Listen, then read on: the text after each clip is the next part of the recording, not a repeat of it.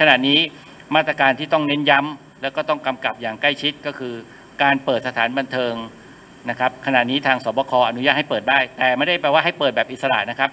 ท่านจะต้องจัดการเปิดแบบ new normal ต้องมีการเว้นระยะห่าง ต้องมีการควบคุมให้คนเข้าไป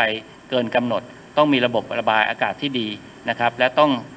ใส่หน้ากากอนามัยให้บ่อยที่สุดเท่าที่เป็นไปได้ โดยเฉพาะพนักงานนะครับ แล้วก็ต้อง ไม่คุกคีกันเกินจำเป็นอย่างนี้เป็นต้นนะครับสำหรับการดำเนินงานของกระทรวงสาธารณสุขนะครับสำหรับผู้ที่ไป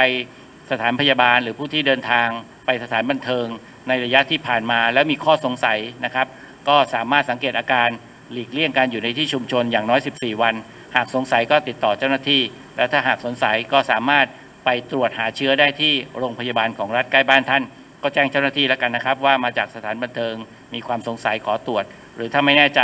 ไม่รู้จะไปที่ไหน ก็มาที่สถาบันบำราศนาราดูนกรมควบคุมโรค หรือสถาบันป้องกันควบคุมโรคเขตเมือง ซึ่งอยู่ที่บางเขนกรุงเทพมหานครนะครับ หรือถ้าไม่แน่ใจก็โทรมาสอบถามได้ที่ 1422 ครับ